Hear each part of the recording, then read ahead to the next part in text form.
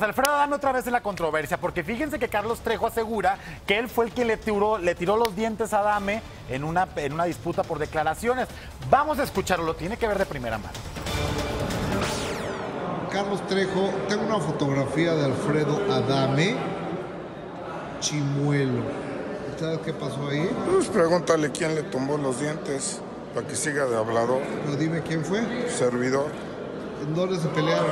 Eh, eso lo agarramos. Ya sabes que no hay día que no llegue ni hora que no se cumpla. Así es que todavía falta mucho por hablar ahí.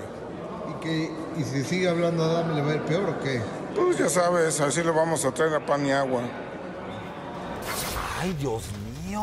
a pan y agua y les cuento cómo fue. Venía yo para acá, para mi camerino, y me encuentro el Casa Fantasmas.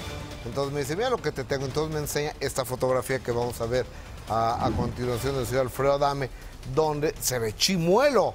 Alfredo Adame se ve chimuelo. Entonces le digo, ¿qué pasó? No, pues se los tiré yo a Adame.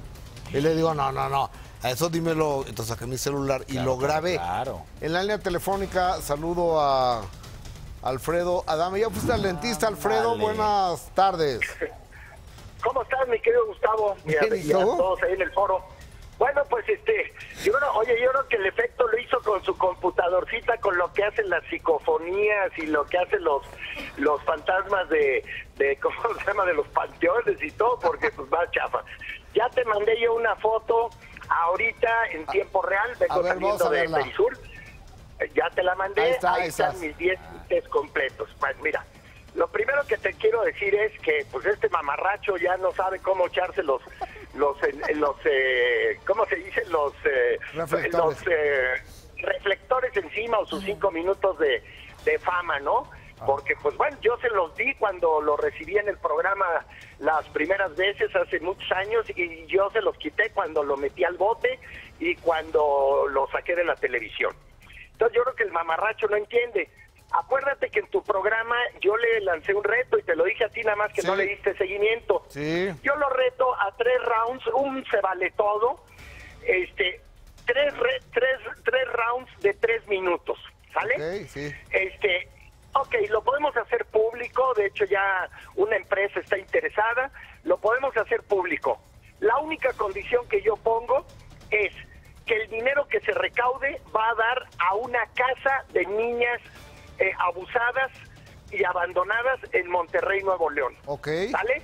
Ok. Lo hacemos el espectáculo público, tres rounds de tres minutos cada round, se vale todo y este y el dinero destinado para él y para mí, o sea, si es que lo hace una empresa, este ese dinero se va a la beneficencia de una casa de niñas abandonadas y niñas abusadas este de todo tipo sexual, psicológicamente y todo en Monterrey, Nuevo León. Ok, yo, yo, ¿Qué yo lo veo esta, esta semana, pero la, la realidad Si es que hacer, no te pegó. No, hombre, más tarda en acercárseme que en yo ponerle la pata en la jeta y romperle el hocico, hombre. En, eh, este, este cuate tengo 20, bueno, 18 años. La, última vez que lo vi estaba yo a 300 metros cuando lo metiera al bote que lo fueron a detener los judiciales. Eso es la- hace 10 años o no sé cuánto lo metí al bote. Y luego, este, o 6 años o algo así.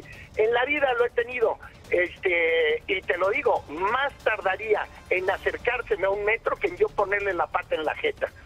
Entonces, pues yo creo que está loquito, ya que no inhale tanto tiner ni se meta tanta mota el drogadicto este, porque, porque pues de verdad, o sea, este, lo que dice son locuras. Lo mismo dijo de David Rojas un día, que en Perisur lo había agarrado de las greñas en la escalera eléctrica, y luego de mí también dijo que un día en el estacionamiento de no sé dónde.